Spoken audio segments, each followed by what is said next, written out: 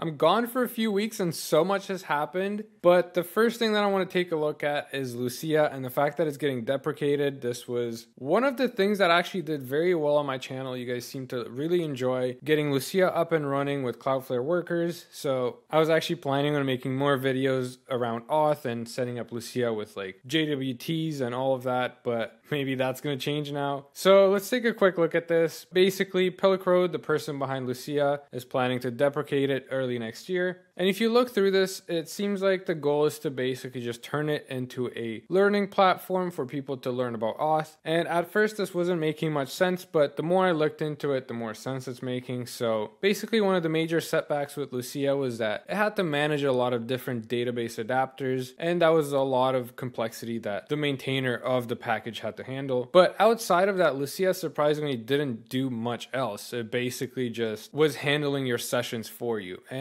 to implement implement that, as we're going to take a look into that in a second, it doesn't take all that much to migrate over. All you have to do now is just handling your cookies and sessions. That's basically like five or six functions. But yeah, the complexity of managing all of the different adapters for the databases. In my case, for all of the videos, I've used Drizzle ORM. So if I continue down that path, for example, if I just create one package for my auth, I'll just be able to reuse that for every single project going forward. And in that case, you don't really need a package like Lucia. All you just need to know is just how to handle your own sessions, and then you can just go from there. Even the author, they mention how they actually implement sessions from scratch and don't actually use the library library themselves in personal projects. So I think that makes a lot of sense. If anyone else told you this about their package, like any other package out there, if they were like, oh yeah, I maintain this package, but I never actually use it, I prefer to just create my own from scratch every single time. It's kind of a red flag. But in this case, it actually, with how simple the package is, it makes a lot of sense. And they even mention here that they're going to continue maintaining their other libraries like Arctic and Oslo, which are other auth specific libraries. So it's not like they're just dropping everything. And if you're in the boat where you're kind of panicking now that, oh, I don't have something to rely on and maybe rolling your own auth is not an option. You don't want to go down that path. Someone actually replied to this post listing out a lot of different options that you have for auth. So you can use supabase you can use clerk Kinde. A lot of these are similar. Some i've never used and definitely are not sponsoring this video but but yeah a lot of these are managed solutions so they handle a lot for you which comes with its pros and cons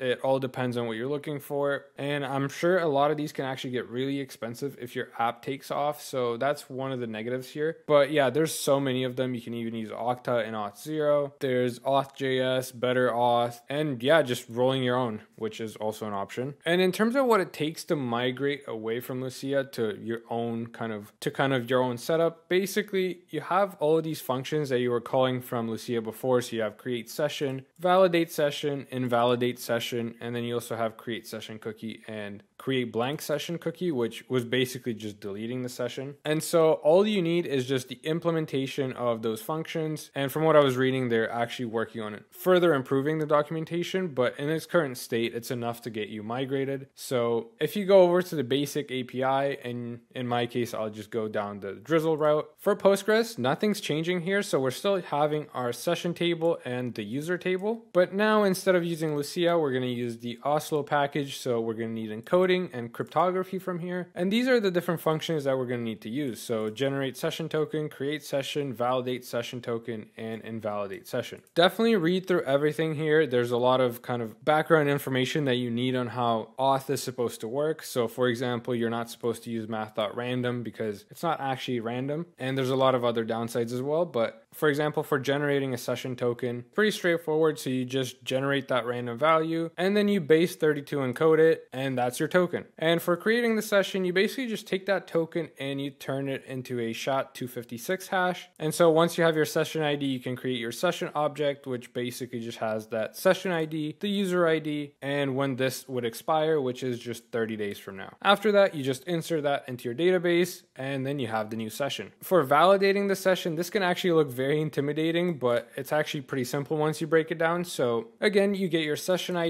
from the token provided. You try seeing if that session exists in the database for that specific user. If you don't have a result, then you don't have a session for that user. But if you do have a result, then we also have to check if that session has expired. If the session expired, then the user will have to re authenticate. Another use case here is renewing that session. So, for example, in this case, there's less than 15 days until expiry. We just renew that session. So, we'll just refresh it to be 30 days from now and just update that in the database. And at the end, we just return that valid session. Invalidating the session is basically just deleting it from the database. So, that's pretty straightforward. And if you're feeling lazy, there's all the code here provided as well, so you have all those functions. Now, there's also cookies. Cookies, I think, are actually more straightforward now. So, for example, you have the set session token cookie. This basically just sets that cookie in the header that you're returning to the client. There's different cases here. For example, on production and local, it's a bit different. Since in production, we're most likely using HTTPS, we want to make sure that that cookie is secure.